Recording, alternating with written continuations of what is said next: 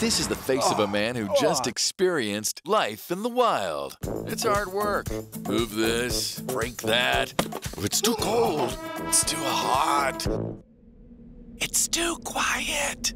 It's too dark. Hello? Hello? Ooh, flashlight. Every view is amazing. And every bite is tasty. Eat it, Ben.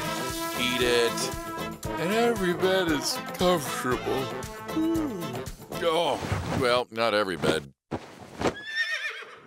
These are the stories of people who bye-bye the city life and said hello to the wild. This is their way of enjoying the wilderness. We saw the end.